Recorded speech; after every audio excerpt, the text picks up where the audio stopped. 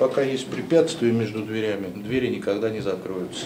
Безопасность, скорость и комфорт – главные характеристики при оценке работы лифта. Химки стали лидером в Подмосковье по замене лифтового оборудования. Здесь устанавливают десятую часть от регионального плана.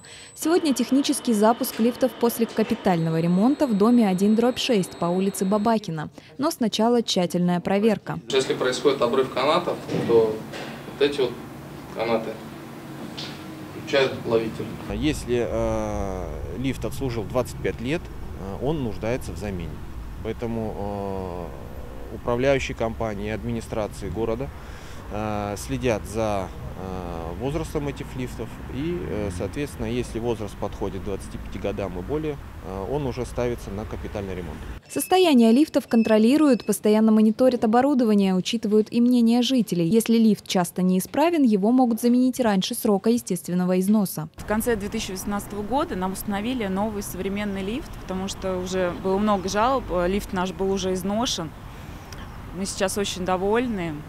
Хотим сказать большое спасибо нашей администрации за то, что они оперативно реагируют. В прошлом году в городском округе заменили более 120 лифтов. Еще около 80 планируют обновить в этом году. Алена Беляева, Ксения Брагина, Николай Забродин. Служба новостей.